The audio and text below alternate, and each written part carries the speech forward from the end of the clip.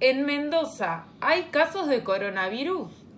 No, todavía no, todavía no hay ningún caso, gracias a Dios, y esperemos que, que siga así, ¿no? Que no llegue un caso acá, porque sería alarmante, ya que la ciudad no es muy grande.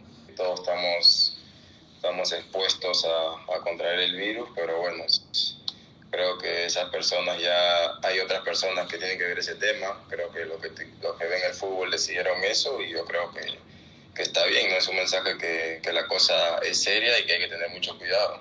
El martes este, llegó la información al club que no iba a haber ni iba a haber fecha, que iban a postergar el campeonato y bueno, nos dieron libre, pero nos dieron un, un kit de entrenamiento para llevarlo a casa y, y así poder hacer, seguir entrenando, ya así no sé igual, pero seguir entrenando. Me entero todo, en verdad estoy al tanto todos los días con mi familia, sé que el presidente este, cerró todo, o sea que de las 8 de la noche ya no puede salir nadie.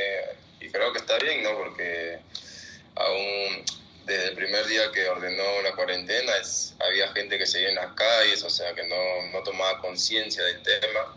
Y bueno, si tenía que ser eso, hay que respetarlo y ojalá que la gente ahora sí entienda que, que la cosa va en serio, ¿no? Y, y trate de ser lo más responsables posibles. No se empezó con el pie con el pie derecho lamentablemente creo que con todo lo que todos los jugadores que habían llegado la gente esperó mucho más pero creo que todavía Alianza puede revertir esta situación.